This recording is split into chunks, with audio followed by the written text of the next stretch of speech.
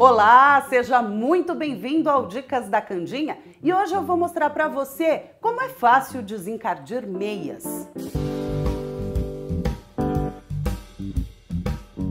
As crianças e eu temos o hábito de andar só de meia em casa. O resultado disso é que as meias ficam todas encardidas.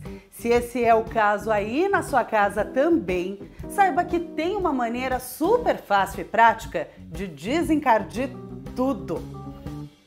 Eu tenho um potinho de sorvete que eu uso só para isso. Então, coloco um par, dois dentro desse pote, um limão.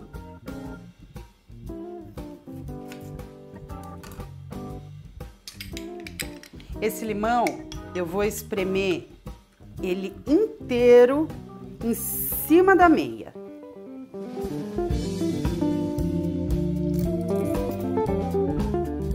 Aí eu venho com água bem quente fervendo e ponho em cima até cobrir toda a meia. Você vai deixar a meia nessa solução de água e limão por duas horas. Depois é só lavar como de costume, colocar na máquina e estender. E essa dica você pode fazer também com os panos de prato, camisa, sabe aquele colarinho que fica todo encardido? Camiseta da escola. E não precisa ser só roupa branca não, tá? Qualquer cor de roupa você consegue desencardir. É que o branco é mais complicado.